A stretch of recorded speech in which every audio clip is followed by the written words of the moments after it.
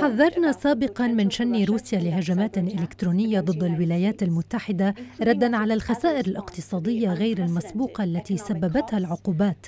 واليوم نكرر التحذيرات لأن روسيا تبحث خيارات لهجمات إلكترونية على البنية التحتية الحيوية الأمريكية. لا يوجد دليل على أي هجوم إلكتروني محدد نتوقع حدوثه. ما نراه هو تحضير لهجمات وسبق أن أوصلنا المعلومات بشكل سري للشركات التي قد تتأثر. واليوم نعلن ذلك من أجل زيادة الوعي.